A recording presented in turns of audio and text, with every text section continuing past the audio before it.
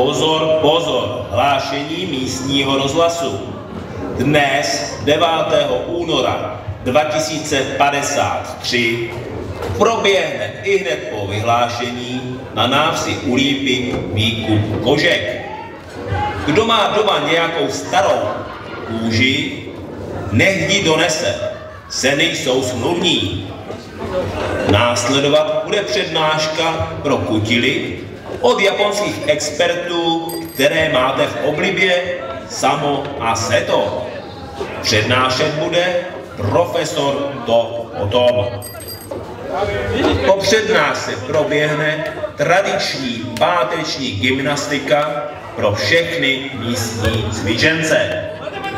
A to pod vedením bratra jako nic.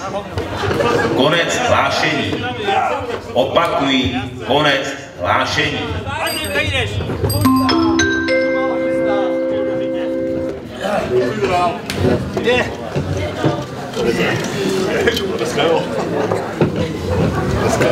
Dobré, ne? Díky zde! Počkej! To je lepší, to je lepší, to je domácí.